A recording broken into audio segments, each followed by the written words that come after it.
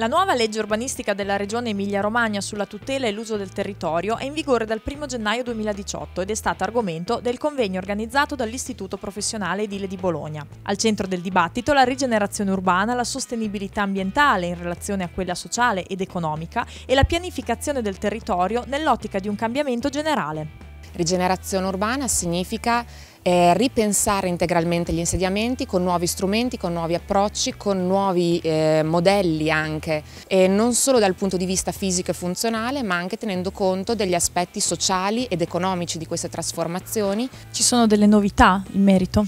L'urbanistica ha sempre avuto un problema di tempi molto lunghi quindi di difficoltà poi ad attuare gli interventi necessari nei tempi che effettivamente possono dare una risposta utile a, a quelle problematiche. Questa legge tenta di superare questo e tenta anche di contrastare il cons cosiddetto consumo di suolo, di cui oggi si parla molto, cercando di incentivare molto gli interventi sul costruito a discapito di quelli su aree nuove. Abbiamo capito come si fa crescita, come si fa riqualificazione, ehm, sappiamo quanto costano gli interventi e, e come si rientra.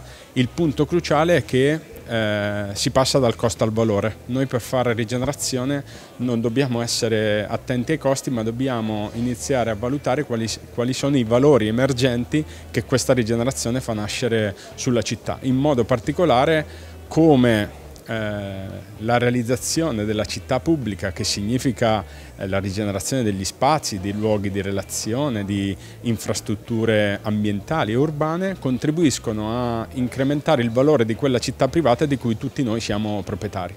Eh, questo passaggio è un passaggio che richiede anche un cambiamento dei tecnicismi economici con cui eh, siamo cresciuti e che richiede anche un diverso modo di guardare a, a, al valore economico che non è solo quello immobiliare. L'importanza della componente sociale in un piano urbanistico. Beh, diciamo che eh, io oggi parlo a una platea che ha uno sguardo sulla città probabilmente profondamente diverso da quello che ho, che ho io guarda la città in termini di case, eh, scuole, ospedali, strade, fognature. Io guardo una città invece eh, per lo spazio che eh, nella città hanno le relazioni sociali e quindi mi occupo di tutte quelle iniziative, progetti che cercano di rivitalizzare la città a partire dalla costruzione di relazioni sociali. E qui sta il legame forte col tema della sicurezza perché se noi abbiamo individui isolati, non inseriti, che non hanno un lavoro, che hanno poche relazioni sociali, chiaramente la città muore, la gente sta in casa, si isola e eh, la vitalità che noi colleghiamo con la città europea in particolare viene a morire.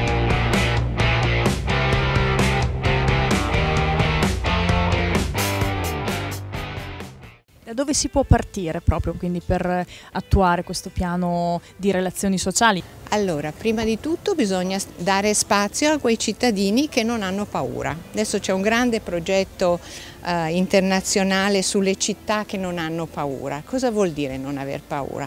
Vuol dire non pensare alla sicurezza ma generare la sicurezza attraverso tutta una serie di altre attività in cui i cittadini si mettono insieme per produrre beni pubblici. E quali sono i beni pubblici? In, in principal modo la sicurezza, ma anche il lavoro, la socialità, l'educazione, la cultura, particolarmente la cultura nelle nostre città che sono produttrici di cultura da sempre. Grazie a queste leggi che ci permettono forti detrazioni fiscali e la legge regionale è stata in grado di migliorare e di implementare le detrazioni fiscali con delle regole forti e chiare, oggi abbiamo 30 milioni di condomini in Italia che hanno l'opportunità, soprattutto quelli prima degli anni 70, di collocarsi nella parte alta, mentre oggi gran parte di loro sono fatiscenti. Quanto è importante la collaborazione, il lavoro di squadra tra enti, istituzioni, ma anche proprio tra lavoratori? Abbiamo capito che lavorare insieme dà dei grandissimi risultati. Lavorare insieme crea un futuro certo per eh, le nuove generazioni che oggi sono veramente preparate, il mondo universitario le, le prepara in modo ottimale. La situazione nello specifico di Bologna della nostra regione è particolarmente delicata. Noi abbiamo avuto una crescita insediativa nonostante gli strumenti pianificatori che l'hanno comunque regolata molto ampia, si parla anche di diffusione, di diffusione urbana e quindi abbiamo avuto un consumo notevole di territorio. Il consumo di territorio si ha quando andiamo ad occupare il territorio con artificializzazioni, quindi edifici, ma anche le strade che portano a quegli edifici.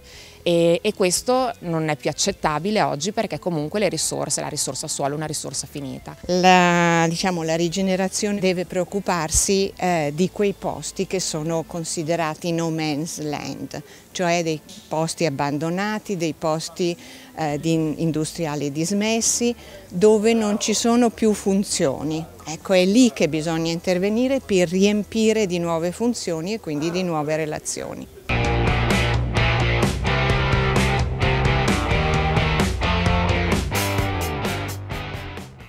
In questa ultima puntata di Edilizia Sicura, prima di salutarvi per la pausa estiva, vi vogliamo accompagnare attraverso alcune divertenti attività svolte dai ragazzi IFP, gli allievi dell'IPLE. Ascoltiamoli assieme ai loro docenti tra la costruzione di un forno all'esterno della scuola e la realizzazione di un colorato murales raffigurante lo skyline di Bologna sul ponte Mascarella. Siamo all'esterno dell'Istituto Professionale Edile di Bologna, alle nostre spalle i ragazzi eh, allievi dell'istituto sono alle prese con il forno. Illustriamo quindi che cosa stanno combinando i ragazzi. Allora, stiamo realizzando un forno tradizionale in terra cruda per la cottura di cibo, in particolare pasta, pane e pizza, diciamo e un forno tradizionale fatto con terra cruda, quindi argilla, sabbia e acqua e con una struttura in nocciolo, con una carpenteria in nocciolo che viene realizzata interamente dai ragazzi partendo proprio dal materiale base che è l'argilla e trasformandola, quindi miscelandola con l'inerte, con l'acqua e realizzando la struttura, che è una struttura a goccia con una canna fumaria che diciamo riprende un po' la struttura tradizionale che viene usata e che viene ancora usata in alcune parti del mondo per la, per la realizzazione di forni. Gli allievi dell'Istituto Professionale Edile fanno anche molto gruppo, quindi attraverso queste attività sanno anche un po' scoprire o riscoprire il senso del lavorare insieme. Assolutamente, è uno degli scopi di questo istituto, eh, anche perché il lavoro di squadra è fondamentale in cantiere e quindi è un aspetto che noi curiamo, curiamo molto anche in laboratorio, anche eh, facendo attività di altro genere, perché è un gruppo, è una squadra che lavora bene insieme, sicuramente un gruppo che lavora eh, con entusiasmo, che lavora con eh, serenità spesso e volentieri, che produce molto bene e quindi è sempre positivo.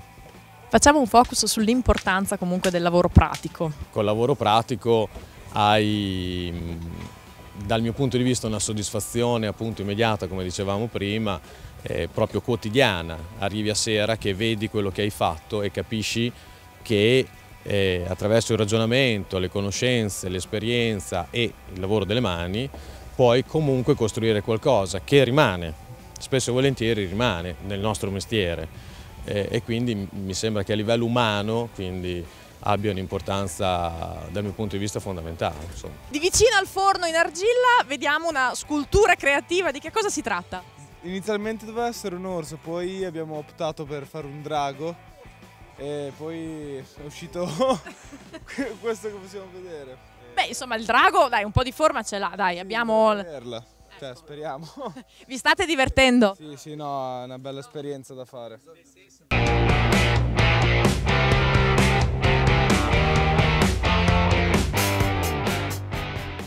Benissimo, oggi ci troviamo qui sul ponte Mascarella per diciamo, vedere alla prova l'ultimo giorno di preparazione di questo murales i ragazzi dell'istituto edile. Intanto come è nato questo progetto di dipingere un murales proprio qui sul ponte? Il progetto è nato dal fatto che già da un po' di anni, ogni anno con eh, una classe facciamo un murales a scuola, cioè decoriamo le classi della, della scuola e poi da lì e dal contatto con Morgantini è nata l'idea di dare il nostro contributo anche al progetto qui sul ponte di Via Stalingrado. Qui ha partecipato mezzo mondo, è stata un, una festa di, di, di popolo proprio, una ventina di comunità diverse, di comunità di stranieri, di, di cittadini, di, dai ragazzi, dai bambini del, di 8 anni a, agli ottantenni in sostanza. È stato un incontro meraviglioso che ha dato possibilità di esprimersi a, non solo agli artisti, fra virgolette quelli veri, ma di artisti che se la sentivano dentro e se la sentono dentro. Quindi il nostro soggetto qua è anche una cosa che riprende l'ultimo Morales a scuola, la, perché la richiesta era da parte della scuola edile di mettere in connessione Bologna, la città di Bologna, con l'istituto edile, di far vedere la, la, connessione tra le due realtà.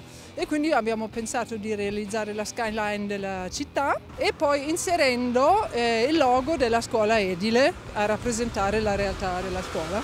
Questo luogo è stato trasformato, è diventato un'altra cosa, le persone che ci passano, che trascorrono sul ponte po' di tempo se ne sono accorti che è cambiata la qualità in sostanza. Alla città in qualche cosa abbiamo dato e oggi anche i ragazzi della scuola edile stanno dando il loro contributo, bello fra le altre cose. Come hai contribuito a fare questo murales? Prima abbiamo, abbiamo tracciato tutte le misure, poi abbiamo utilizzato qualche colore con pennello, mi ha dato molta soddisfazione per quello che abbiamo fatto.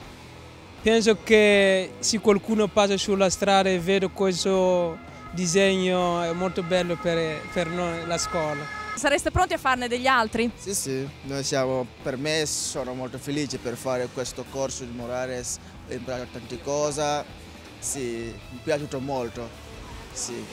Qual è la parte, la fase del lavoro che ti è piaciuta di più tra tutte quelle che avete fatto? Tutto, ho fatto, noi abbiamo preso il misura prima, metti un disegno, il colore, sono molto felice per fare questo, ho imparato tante cose, sì penso che la scuola edile per i, per i ragazzi sia un buon viatico proprio anche per l'integrazione e anche per lo sbocco che riusciranno ad avere.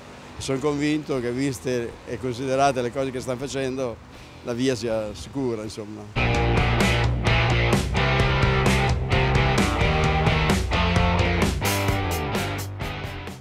Calendario estivo dei corsi dell'Istituto Edile è ancora fitto di proposte tra aggiornamenti e formazione.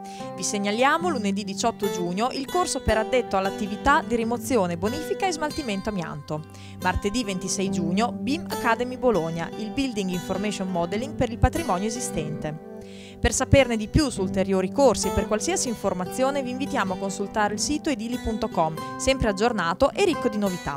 Potete seguire l'Istituto Professionale Edile di Bologna anche su Facebook, LinkedIn e Google ⁇ Si possono inoltre rivedere tutte le puntate delle nostre trasmissioni su YouTube al canale Edilizia Sicura.